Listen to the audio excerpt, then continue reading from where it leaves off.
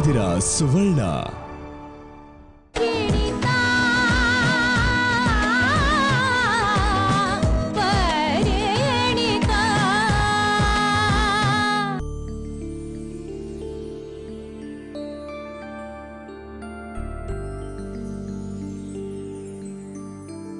ಅರ್ಜುನ್? ಅಪ್ಪ. ನಿರಂಜನ್ ಇಲ್ಲಿ? ಅಣ್ಣ ಆಚೆ ಹೋಗಿದ್ದಾರೆ. ಸರಿ ನಾನು ನರಸಿಂಹ ಅಂಗಡಿಗೆ ಹೋಗಿರ್ತೀವಿ. ನೀನು ಪ್ರಕಾಶ್ ಟೆಕ್ಸ್ಟೈಲ್ಸ್ ಹೋಗಿ ಚೆಕ್ ಕಲೆಕ್ಟ್ ಮಾಡ್ಕೊಂಬಂದ್ಬಿಡು. ಸರಿಪ್ಪ. ಅರ್ಜುನ್ ನಿಂತ್ಕೋ. ಏನಣ್ಣ? ಆ ಚೆಕ್ನ ನಾನು ಕಲೆಕ್ಟ್ ಮಾಡ್ಕೊಂಡು ಬರ್ತೀನಿ ಅಂತ ಹೇಳು. ಬೇಡ ಅಂತ ಹೇಳೋ?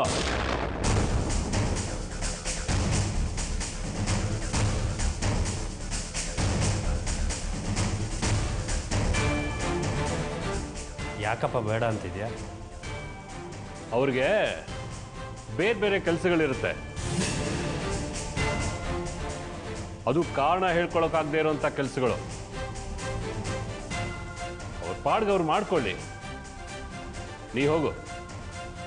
ಒಂದು ದಿವಸ ಹಾಗೆ ಹೇಳಿದ್ದಕ್ಕೆ ಯಾವಾಗಲೂ ಹಾಗೆ ಇರುತ್ತಾ? ಇಷ್ಟು ದಿವಸ ಆ ಚಕ್ಕನ್ನ ಯಾರು ಕಲೆಕ್ಟ್ ಮಾಡ್ಕೊಂಡು ಬರ್ತಿದ್ರು ಅಂತ ಕೇಳು. ನಡೆಯುವಾಗ ಒಂದ್ ಹೆಜ್ಜೆ ತಪ್ಪಿದ್ರು. ತಲುಪಬೇಕಾಗಿರೋ ಜಾಗ ತಲುಪಕ್ಕಾಗಲ್ಲ. ಏನೇ ಬಂದರೂ ಒಂದೇ ಥರ ಇರಬೇಕು.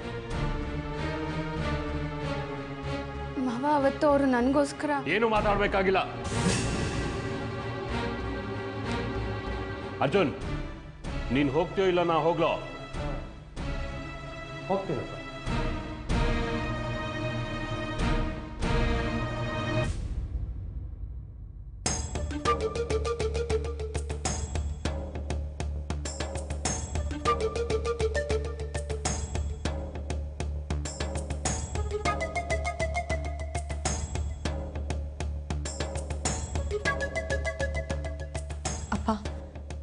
ನಿಮ್ಮ ಮಾತಿಂದ ಭಾವ ಬೇಜಾರಾದ್ರು ಅನ್ಸುತ್ತೆ.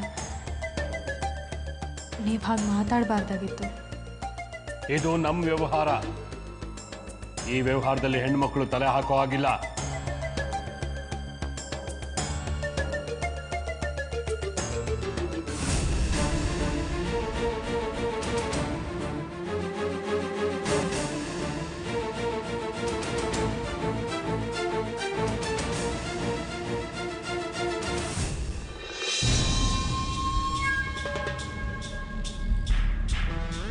ರೀ.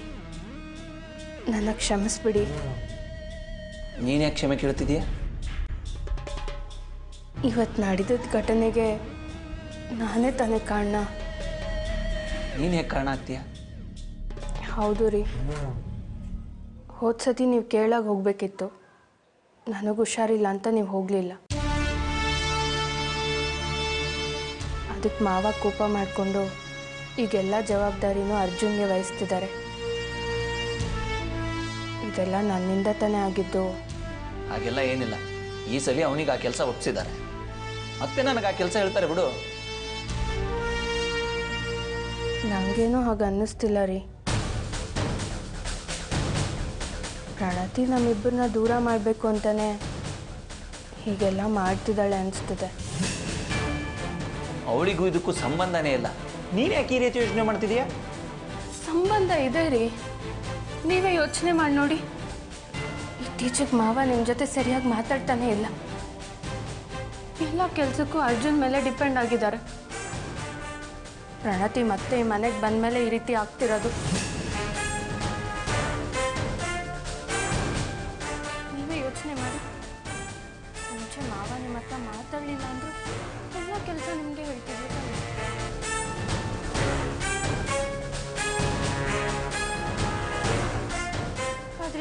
ಹೇಳ್ತಿಲ್ಲ ಯಾವಾಗಲೂ ದುಡ್ಡು ಕಲೆಕ್ಷನ್ಗೆ ನೀವೇ ಹೋಗ್ತಿದ್ರಿ ತಾನೆ? ಆದರೆ ಈ ಸತಿ ಅದನ್ನು ಅರ್ಜುನ್ ಮಾಡ್ತಿದ್ದ ಅಂದಮೇಲೆ ನಿಮ್ಮನ್ನ ಮಾವನ ದೃಷ್ಟಿಯಿಂದ ದೂರ ಮಾಡ್ತಿದ್ದಾಳೆ. ಇದು ಹೀಗೆ ಆದರೆ ನೀವು ಕಷ್ಟಪಟ್ಟು ದುಡಿಯೋದಕ್ಕೆ ಬೆಲೆನೂ ಇರೋದಿಲ್ಲ. ನಾನು ಇಷ್ಟೆಲ್ಲ ಮಾತಾಡಿದ್ದೀನಿ ನನ್ನ ಕ್ಷಮಿಸಿ. ಆದರೆ ನನ್ನ ಗಂಡ ಎಲ್ರ ಮುಂದೆ ಸೋಲೋದು ನಂಗೆ ಇಷ್ಟ ಇಲ್ಲ. ಇಲ್ಲ ಅಷ್ಟೇ. ನೀನು ಹೇಳ್ತಾ ಇರೋ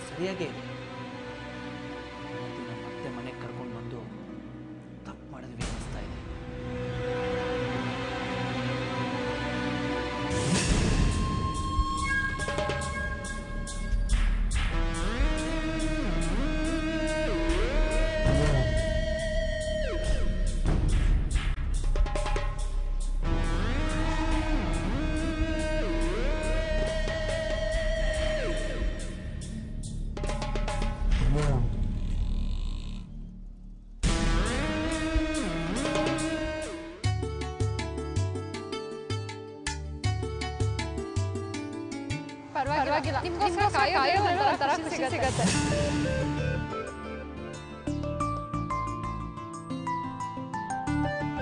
ನಿರಂಜನ ಅವರೇ. ಸಾವಿರ ಜನ ಸಾವಿರ ಮಾತಾಡ್ತಾರ್ರಿ ಅದ್ರ ಬಗ್ಗೆ ಬಗ್ಗೆ ತಲೆ ಕೆಡಿಸ್ಕೋಬಾರ್ದು. ನಮ್ಮಿಬ್ರು ಮನಸ್ಸಲ್ಲಿರೋದು ಸ್ನೇಹ ತಾನೆ.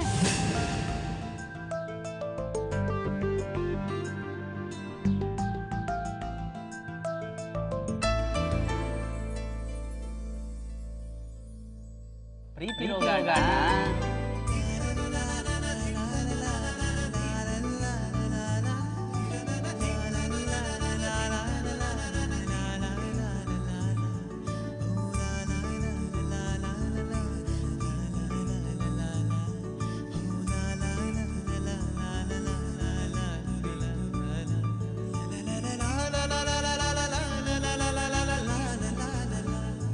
ಯಾಕೆ ಬಾವ? ಇಷ್ಟು ಬೇಗ ಧ್ಯಾನದಿಂದ ಎದ್ಬಿಟ್ರಿ? ಯಾಕೋ ಮನಸ್ಸು ಸ್ಥಿಮಿತಕ್ಕೆ ಬರ್ತಾ ಇಲ್ಲ ಟೀಚರ್ ಅಮ್ಮನವ್ರೆ. ಅಂದರೆ ಯಾರೋ ನಿಮ್ಮನ್ನು ತುಂಬ ನೆನೆಸ್ಕೋತಿರ್ಬೋದು ಅನ್ಸುತ್ತೆ. ಅಥವಾ ನೀವೇ ಯಾರ ಬಗ್ಗೆನಾದ್ರೂ ಯೋಚನೆ ಮಾಡ್ತಿದ್ರಾ? ಹಾಗೇನೂ ಇಲ್ಲ ಟೀಚರ್ ಅಮ್ಮನವ್ರೆ. ಸ್ವಲ್ಪ ವಿಶ್ರಾಂತಿ ತಗೊಂಡ್ರೆ ಎಲ್ಲ ಸರಿ ಹೋಗುತ್ತೆ. ಬಾವ ಮನಸ್ಸಲ್ಲಿ ಏನಾದರೂ ಇದ್ದರೆ ಹೇಳ್ಕೊಂಬಿಡಿ. ಇಲ್ಲ ಅಂದ್ರೆ ಎಷ್ಟೇ ಧ್ಯಾನ ಮಾಡಿದ್ರು ವಿಶ್ರಾಂತಿ ತಗೊಂಡ್ರು ಮನ್ಸು ಹಿಡಿತಕ್ಕೆ ಬರಲ್ಲ. ನೀವು ಯಾರನ್ನಾದ್ರೂ ತುಂಬ ಹಚ್ಕೊಂಡಿದ್ದು ಅವ್ರ ಹತ್ರ ಏನಾದ್ರೂ ವಿಷಯ ಹೇಳ್ಕೊಳಕ್ಕಾಗದೇ ಇದ್ರು ಈ ರೀತಿ ಆಗುತ್ತೆ. ಹಾಗೇನು ಇಲ್ಲ ಅಂತ ಹೇಳಿದ್ನಲ್ಲ ಟೀಚರ್ ಅಮ್ಮನವ್ರೆ.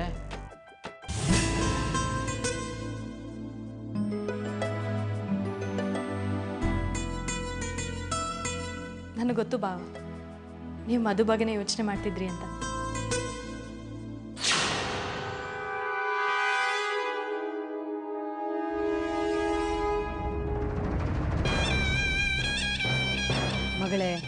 ಯಾಕೆ ಇಷ್ಟೊಂದು ಕೋಪ ಮಾಡ್ಕೊಂಡಿದ್ದೀಯ?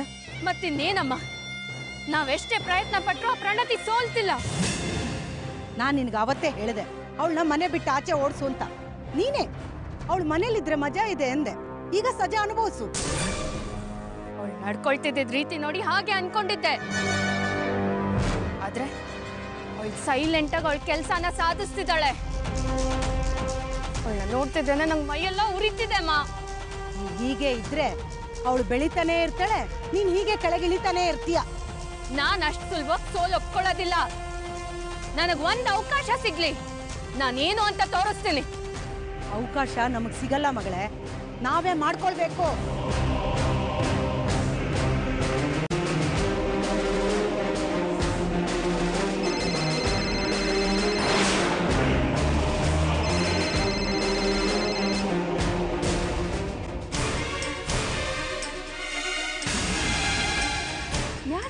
ಮಾಡ್ತಿರೋದಮ್ಮ?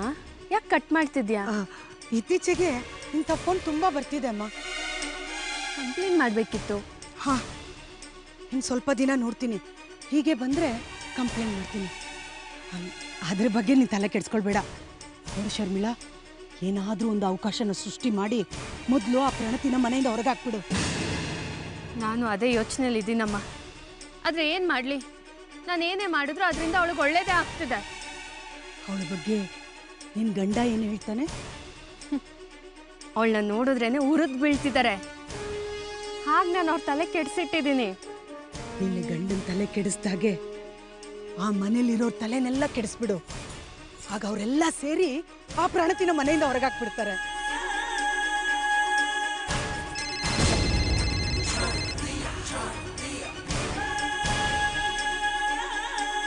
ಅಮ್ಮ ರಿಸೀವ್ ಮಾಡು.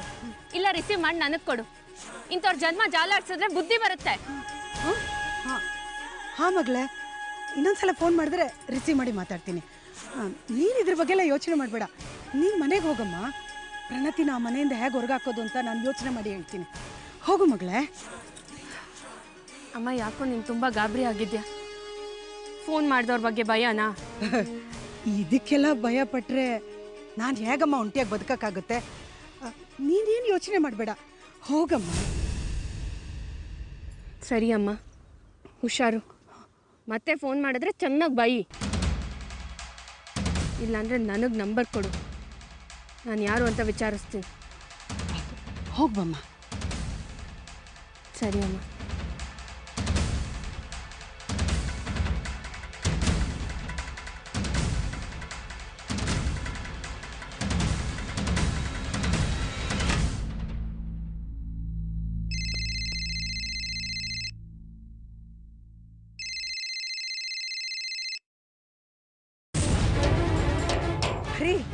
ಪದೇ ಪದೇ ನನಗೆ ಫೋನ್ ಮಾಡಿ ತೊಂದರೆ ಕೊಡಬೇಡಿ ಅಂತ ನಿಮಗೆ ಎಷ್ಟು ಸಲ ಹೇಳೋದು? ಶಾಂತಿ ಶಾಂತವಾಗು. ಹೆಣ್ಣು ಮಕ್ಕಳಿಗೆ ಕೋಪ ಒಳ್ಳೆಯದಲ್ಲ ಎಷ್ಟಕ್ಕೂ ನಿನ್ನ ಕೋಪ ನನ್ನ ಮುಂದೆ ಏನು ನಡೆಯಲ್ಲ? ನಾನು ಬೇರೆ ಯಾರಿಗೂ ಫೋನ್ ಮಾಡ್ತಿಲ್ವಲ್ಲ? ಫೋನ್ ಮಾಡ್ತಿರೋದು ನನ್ನ ಹೆಂಡ್ತಿಗೆ ತಾನೇ? ಗಂಡ ಫೋನ್ ಮಾಡಿದ್ರೆ ಖುಷಿ ಪಡೋ ಹೆಂಡ್ತಿರ್ ನೋಡಿದ್ದೀನಿ. ನೀನೇ ಯಾಕೆ ಕೋಪ ಮಾಡ್ಕೋತಿದ್ದೀಯಾ? ನೋಡಿ ಗಂಡ ಅನ್ನೋ ಸಂಬಂಧನ ಕಳ್ಕೊಂಡು ನಾನು ತುಂಬ ದಿನ ಆಯ್ತು. ಗಂಡ ಅನ್ನೋ ಅಧಿಕಾರ ಇದೆ ಅಂತ ನನಗೆ ಪದೇ ಪದೇ ಫೋನ್ ಮಾಡಬೇಡಿ. ನೀವು ಕಳ್ಕೊಂಡಿರ್ಬೋದು ಶಾಂತಿ. ಆದರೆ ಹೆಂಡತಿ ಅನ್ನೋ ಸಂಬಂಧನ ನಾನು ಕಳ್ಕೊಂಡಿಲ್ಲ. ನನ್ನ ಕೊನೆ ಉಸಿರಿರೋವರೆಗೂ ಅದು ಇದ್ದೇ ಇರುತ್ತೆ ನಾಟಕದ ಮಾತೆಲ್ಲ ಬೇಡ. ಫೋನ್ ಮಾಡಿದ್ಯಾಕೆ ಅಂತ ಹೇಳಿ. ನಾಟಕ ಮಾಡ್ತಿರೋನು ನಾನಲ್ಲ ಶಾಂತಿ ನೀನು. ತಂಗಿ ಅನ್ನೋ ಸಂಬಂಧ ಬೇಡ ಅಂತ ದೂರ ಇಟ್ಟಿದ್ರು ಅಣ್ಣ ಅಂತ ಸಂಬಂಧ ಬೆಳೆಸ್ಕೊಳಕ್ ಹೋಗ್ತಿದ್ಯಲ್ಲ ಇದು ನಾಟಕ ಅಲ್ವಾ? ಅದಕ್ಕೆಲ್ಲ ಕಾರಣ ಇದೆ. ಆದರೆ ನಿಮ್ಮ ವಿಷಯದಲ್ಲಿ ಅಂತ ಕಾರಣ ಏನಿಲ್ಲ. ನೋಡು ಕಾರಣ ಇಲ್ಲದೆ ನೀನು ಆ ಮನೆಗೆ ಯಾಕೆ ಕಾಲಿಡಲ್ವೋ ಹಾಗೆ ಕಾರಣ ಇಲ್ಲದೆ ನಾನು ನಿನಗೆ ಫೋನ್ ಮಾಡಲ್ಲ. ಈಗಂತ ಕಾರಣ ಏನಿದೆ ಅಂತ? ಶಾಂತಿ ನನ್ನ ಮಗಳು ಶರ್ಮಿಳಾಳಿಂದ ದೂರ ಇರು ಅಂತ ಹೇಳಿದ್ದೆ ತಾನೇ. ಮತ್ತೆ ಅವಳನ್ನು ಮೀಟ್ ಮಾಡ್ತಿದ್ದೀಯಾ?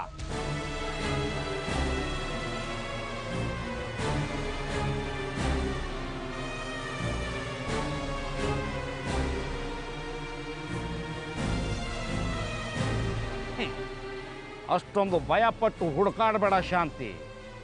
ನೀನೆಷ್ಟೇ ಹುಡುಕಾಡಿದ್ರು ನಾನು ನಿನ್ನ ಕಣ್ಣಿಗೆ ಕಾಣಿಸಲ್ಲ. ಅಂದ್ರೆ ನೀವು ನನ್ನ ಸುತ್ತಮುತ್ತನೇ ಇದ್ದೀರಾ?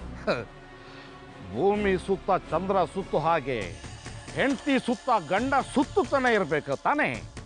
ಆದರೆ ನಾನು ಬರೀ ನಿನ್ನ ಸುತ್ತ ಸುತ್ತುತ್ತಾ ಇರ್ತೀನಿ ಅನ್ಕೋಬೇಡ. ನಿನ್ನೆಲ್ಲ ಆಟಗಳನ್ನ ಗಮನಿಸ್ತಾ ಇದ್ದೀನಿ. ನೋಡು ನಿನ್ನ ದ್ವೇಷ ಅಸೂಯೆನೆಲ್ಲ ಶರ್ಮಿಳ ಕಲಿಸ್ಬೇಡ. ನಿನ್ನ ಈ ಒಡೆದಾಳೋ ನೀತಿನ ಬಿಡು. ಇದನ್ನ ನಾನು ನಿಮ್ಮಿಂದ ಕಲಿಬೇಕಾಗಿಲ್ಲ. ನನಗಾಗಿರೋ ಅನ್ಯಾಯಕ್ಕೆ ನಾನು ಹೀಗೆ ಮಾಡಬೇಕು. ಯಾಕೆ? ಇದು ನಿಮಗೆ ಗೊತ್ತಿಲ್ವಾ? ಚೆನ್ನಾಗಿ ಗೊತ್ತು. ಒಂದು ರೀತಿನಲ್ಲಿ ನಿಮ್ಮ ಅಣ್ಣ ಮಾಡ್ತಿರೋದು ಸರಿ ಅನಿಸುತ್ತೆ. ನೀನು ಸರಿ ಇದ್ದಿದ್ರೆ ಅವನ್ ತಾನೇ ಯಾಕಾಗ ಮಾಡ್ತಾ ಇದ್ದ? ನೋಡು ಮೊದಲು ನಿನ್ನ ಬಂದಿರೋ ಕಾಯಿಲೆನ ವಾಸಿ ಮಾಡ್ಕೊ. ಇಲ್ಲ ಅಂದರೆ ಆ ಕಾಯಿಲೆ ನಿನ್ನ ಮಗಳಿಗೂ ಅಂಟ್ಕೊಂಡ್ಬಿಡುತ್ತೆ. ಪ್ಲೀಸ್ ಅವಳಿಗೆ ನೆಮ್ಮದಿಯಾಗಿ ಬದುಕೋದಕ್ಕೆ ಅವಕಾಶ ಮಾಡಿಕೊಡು. ರೀ ನೀವು ಈ ರೀತಿ ಹಿಂದೆ ಮಾತಾಡಿದ್ರೆ ಆಗಲ್ಲ. ಹಿಂದೆ ಬಂದು ನಮ್ಮ ಕಷ್ಟ ನೋಡಿ ಮಾತಾಡಬೇಕು. ಬರ್ತೀನಿ. ಬಂದೇ ಬರ್ತೀನಿ. ನೋಡು ಎಲ್ಲದಕ್ಕೂ ಒಂದು ಸಮಯ ಅಂತ ಇರುತ್ತೆ. ಆ ಸಮಯ ಬಂದಾಗ ನಾನೇ ನಿನ್ನ ಎದುರುಗಡೆ ಬರ್ತೀನಿ. ಅಷ್ಟರಲ್ಲಿ ನಿನ್ನ ಕಾಯಿಲೆ ವಾಸಿ ಮಾಡ್ಕೊ. ಪ್ಲೀಸ್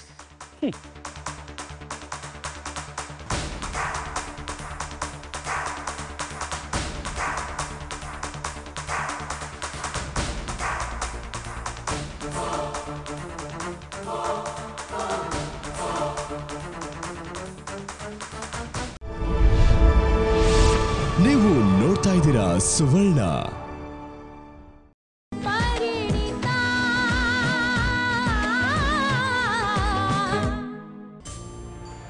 ಆಯ್ತು ಬಿಡಿ, ನೀವು ಹೇಳ್ದಾಗೆ ಮಾಡೋಣ. ಓಕೆ ಓಕೆ ಓಕೆ ಇಡ್ತೇನೆ. ಅರ್ಜುನ್, ನಡಿ ಹೋಗೋಣ. ಅಪ್ಪ, ನೀವು ಅಣ್ಣಂಗೆ ಹಾಗೆ ಹೇಳಬಾರ್ದಾಗಿತ್ತು. ಅವ್ರ ಮನ್ಸಿಗೆ ತುಂಬ ನೋವಾಗಿದೆ ಅನ್ಸುತ್ತೆ. ನಿನಗೆ, ಪ್ರಣತಿಗೆ ಬೇರೆಯವ್ರಿಗೆ ನೋವಾಗೋದು ಮಾತ್ರ ಗೊತ್ತಾಗತ್ತೆ. ಆದರೆ ಹಿಂದಿನ ಉದ್ದೇಶ ಗೊತ್ತಾಗೋದಿಲ್ಲ ಅಲ್ವಾ? ಎಲ್ಲ ಕೆಲಸನೂ ಅವನೇ ಮಾಡ್ತಾ ಇದ್ರೆ ನೀವೆಲ್ಲ ಯಾವಾಗ ಕಲಿಯೋದು? ಯಾವಾಗಲೂ ಒಬ್ಬನ್ನೇ ನಂಬ್ಕೊಂಡಿರೋಕ್ಕಾಗಲ್ಲ. ಅದಕ್ಕೆ ನೀನು ಚೆಕ್ ಕಲೆಕ್ಟ್ ಮಾಡ್ಕೊಂಡು ಬಾ ಅಂತ ಕಳಿಸಿದ್ದು. ಅದಕ್ಕೆ ಅವ್ನು ಬೇಜಾರು ಮಾಡ್ಕೊಂಡ್ರೆ ನಾನೇನು ಮಾಡಲಿ? ಆ ವಿಷಯನಲ್ಲೇ ಹೇಳಿದಿದ್ರೆ ಅಣ್ಣನೂ ಅರ್ಥ ಮಾಡ್ಕೊತಿದ್ದ ಅಲ್ವಾ?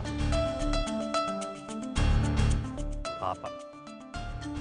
ಅಂಗಡಿಲಿ ಇವತ್ತೆಲ್ಲ ಒಂಥರ ಇದ್ದ. ಅರ್ಜುನ್ ಎಲ್ಲ ವಿಷಯನೂ ಹೇಳೋಕ್ಕೆ ಅವನೇನು ಚಿಕ್ಕ ಹುಡುಗ ಅಲ್ಲ. ಈಗ ನೋಡು ಯಾರನ್ನ ಮೀಟ್ ಮಾಡಬೇಕು ಅಂತ ನಾವು ಇಬ್ಬರು ಹೊರಗಡೆ ಬಂದ್ವಿ. ಅದಕ್ಕೆ ಅವ್ನು ಬೇಜಾರು ಮಾಡ್ಕೊಂಡಿದ್ದ. ನಾನೇನು ಮಾಡೋಕ್ಕಾಗತ್ತೆ? ಅಲ್ಲ ಎಲ್ಲ ವಿಷಯನೂ ಅವ್ನು ಹೇಳೋಕ್ಕಾಗತ್ತಾ? ಅಪ್ಪ ನಿಮ್ಮ ಉದ್ದೇಶ ಏನೋ ಸರಿಯಾಗೇ ಇದೆ. ಅದನ್ನ ಅಣ್ಣ ಅರ್ಥ ಮಾಡ್ಕೋಬೇಕಷ್ಟೆ. ಆದರೆ ಅವನಿಗೆ ಅರ್ಥ ಮಾಡ್ಕೊಳ್ಳೋ ಸ್ಥಿತಿಲಿಲ್ಲ ಹಾಗಂದ್ರೇನು ಏನಿಲ್ಲ ಬಿಡಿಪ್ಪ. ಮುಂದೆ ಮುಂದೆ ನಿಮಗೆ ಅರ್ಥ ಆಗುತ್ತೆ. ಅಪ್ಪ ಇನ್ನು ಮುಂದೆ ಏನೇ ಕೆಲಸ ಹೇಳೋದಿದ್ರು ನನಗೆ ಸಪ್ರೇಟಾಗಿ ಕರೆದ್ಬಿಟ್ಟು ಹೇಳಿ. ಅಣ್ಣ ಅತ್ತಿಗೆ ಮುಂದೆ ಹೇಳಬೇಡಿ.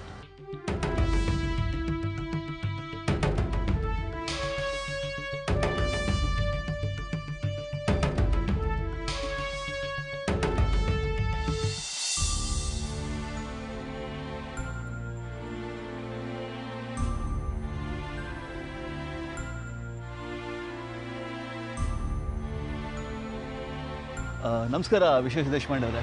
ನಮಸ್ಕಾರ ಸರ್. ಏನು ಈ ಕಡೆ? ನಿಮ್ಮನ್ನು ನೋಡಂದ್ರೆ ಅಂಗಡಿ ಹತ್ರ ಹುಟ್ಟಿದ್ದೆ. ಇಲ್ಲೇ ಸಿಕ್ಕರಲ್ಲ ಯಾಕೆ ಸರ್? ಏನು ವಿಷಯ? ಗಾಬರಿ ಆಗೋಂಥದ್ದು ಏನೂ ಇಲ್ಲ. ಅದೇ ಶರ್ಮಳಾ ಶರ್ಮಿಳಾ ಕೇಸ್ ಬಗ್ಗೆ ನಿಮ್ಮ ಹತ್ರ ಮಾತಾಡಬೇಕಾಗಿತ್ತು.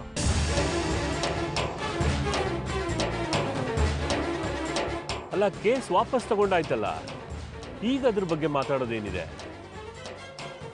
ಕೇಸ್ ವಾಪಸ್ ತಗೊಂಡಿದ್ದಾರೆ ಅಂತ ನೀವು ಯಾರು ಹೇಳಿದ್ದು?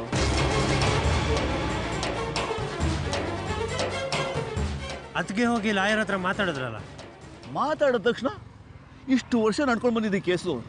ಅಷ್ಟು ಸುಲಭವಾಗಿ ಮುಗಿದು ಹೋಗುತ್ತೆ ಅಂದ್ರೆ ಬರೀ ಮಾತಲ್ಲೇ ಮುಗಿಸೋ ಹಾಗಿದ್ರೆ ನಾವೆಲ್ಲ ಯಾಕೆ ಬೇಕಾಗಿತ್ತು? ಈ ಕೋರ್ಟು ಕಾನೂನು ಇದೆಲ್ಲ ಯಾಕೆ ಬೇಕಾಗಿತ್ತು ಹೇಳಿ? ಅಂದರೆ ಕೇಸಿನ ಮುಗ್ದಿಲ್ವಾ? ಸದ್ಯಕ್ಕೆ ಮುಗ್ದಿಲ್ಲ. ಶರ್ಮಿಳಾ ಅವರು ಕೇಸನ್ನು ವಾಪಸ್ ತಗೋತೀರಿ ಅಂತ ಹೇಳಿದ್ದು ನಿಜ. ಆದರೆ ಕೋರ್ಟು ಇದ್ರ ಬಗ್ಗೆ ತಿಳ್ಕೊಳ್ಳೋದಕ್ಕೆ ಇನ್ನೂ ಆರು ತಿಂಗಳು ಈ ಕೇಸನ್ನು ಮುಂದಕ್ಕೆ ಹಾಕಿದೆ.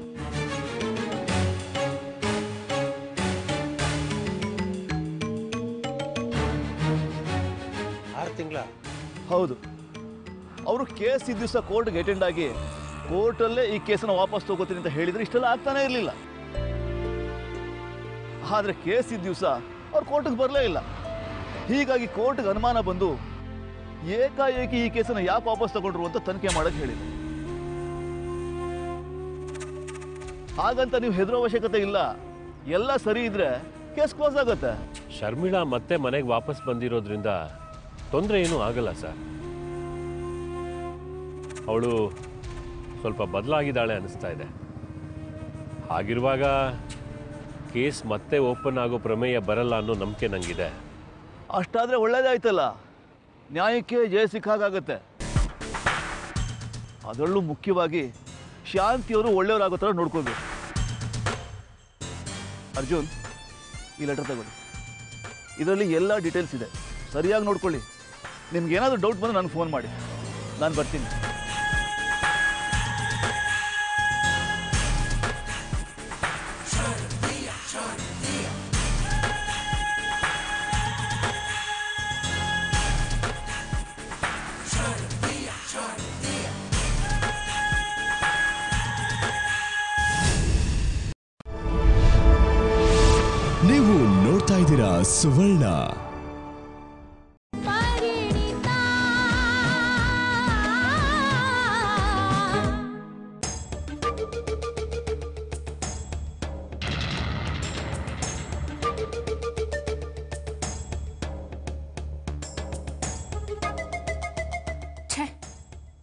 ಈ ಲಾಯರ್ ಇಂಥ ಕೆಲಸ ಮಾಡ್ತಾಳೆ ಅಂದ್ಕೊಂಡಿರಲಿಲ್ಲ ನಾವಾಗ ಹೋಗಿ ಕೇಸ್ ವಾಪಸ್ ತಗೊಳ್ಳಿ ಅಂದಮೇಲೂ ಇನ್ನು ಆರು ತಿಂಗಳು ಮುಂದೆ ಹಾಕ್ಸಿದ್ದಾರೆ ಇವ್ರನ್ನೆಲ್ಲ ಹೇಗೆ ನಂಬೋದು?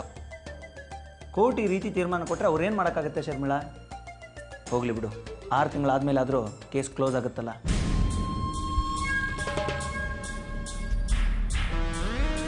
ಅಲ್ಲ ರೀ ನಾವಿಬ್ರು ಇಲ್ಲಿ ಸುಖವಾಗಿರ್ಬೇಕಾದ್ರೆ ಇದೆಲ್ಲ ಬೇಕಾ? ನನಗೇನೋ ಇದೆಲ್ಲ ನಮ್ಮಮ್ಮನೇ ಮಾಡಿಸ್ತಿರೋದು ಅನ್ಸುತ್ತೆ. ನೋಡಿ ನಾಳೆನೇ ಹೋಗಿ ತಕ್ಕ ಶಾಸ್ತಿ ಮಾಡಿ ಬರ್ತೀನಿ. ಅದೆಲ್ಲ ಏನು ಬೇಡ. ಅವರಿಂದ ದೂರ ಇದೆಯಾ? ಹೀಗೆ ಇದ್ಬಿಡು. ಸುಮ್ಮನೆ ಅವರನ್ನು ಎದುರು ಹಾಕೊಳ್ಳೋದು ಬೇಡ. ನಾವು ಹೀಗೆ ಎದುರ್ಕೊಂಡಿದ್ರೆ ಇನ್ನ ಏನಾದರೂ ಕಿತಾಪತಿ ಮಾಡ್ತಾನೆ ಇರ್ತಾರೆ. ಒಂದ್ಸತಿ ಹೋಗಿ ಎದುರ್ಸ್ ಬಂದ್ರೆ ಸುಮ್ಮನಾಗ್ತಾರೆ ಅವ್ರು ಹಾಗೆಲ್ಲ ಹೆದರ್ಸಿದ್ರೆ ಹೆದರೋ ಜಾಯಮಾನದವಳಲ್ಲ ಕಣ ಅವಳು. ಎಲ್ಲದನ್ನು ಮೀರಿ ಬಿಟ್ಟಿದ್ದಾಳು ಅವಳು. ಇಷ್ಟೆಲ್ಲ ಗೊತ್ತಿದ್ದು ಅವಳ ಬಗ್ಗೆ ಇನ್ನೂ ಕನಿಕರ ತೋರಿಸ್ತಿದ್ದೀರಲ್ಲಪ್ಪ. ಏನು ಮಾಡೋದಪ್ಪ? ಇಷ್ಟೇ ಆಗಲಿ ಅವಳು ನನ್ನ ಮಗಳಲ್ವೇನೋ? ಇವತ್ತಲ್ಲ ನಾಳೆ ಬದಲಾಗ್ತಾಳೆ ಅನ್ನೋ ಒಂದೇ ಒಂದು ಆಸೆಯಿಂದ ಎಲ್ಲ ಮಾತಾಡ್ಬಿಡ್ತೀವಿ ಆದರೆ ಕೇಸ್ ಮುಂದಕ್ಕೆ ಹೋಗೋದಕ್ಕೆ ಅವಳ ಕಾರಣ ಅಲ್ಲ ಕಣ. ಹಾಗೆಲ್ಲ ನಿರ್ಧಾರ ತಗೊಳಕ್ಕಾಗೋದಿಲ್ಲಪ್ಪ ಸಮುದ್ರ ನಿಶ್ಶಬ್ದವಾಗಿದೆ ಅಂತಂದರೆ ಮುಂದೆ ದೊಡ್ಡ ಅಲೆಗಳು ಬರ್ತವೆ ಅನ್ನೋ ಮುನ್ಸೂಚನೆ. ಹಾಗೆ ಶಾಂತಿ ಸುಮ್ಮನಿದ್ದಾಳೆ ಅಂತಂದರೆ ಏನೋ ಕೆಟ್ಟದನ್ನು ಬಯಸ್ತಾ ಇದ್ದಾಳೆ ಅಂತಲೇ ಅರ್ಥ. ಅವಳು ಆ ರೀತಿ ಎಲ್ಲ ಕೆಟ್ಟದಾಗಿ ಯೋಚನೆ ಮಾಡೋಕ್ಕಾಗಲ್ಲ ಕಣ. ಯಾಕೆಂದರೆ ಅವಳ ಮಗಳು ಇಲ್ಲಿದ್ದಾಳೆ.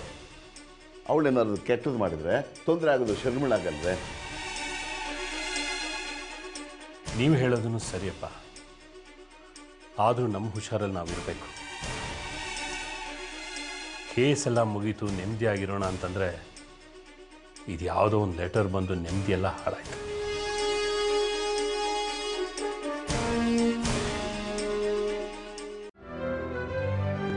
For more updates, like us on Facebook, follow us on Twitter and Google Plus, and watch us on YouTube.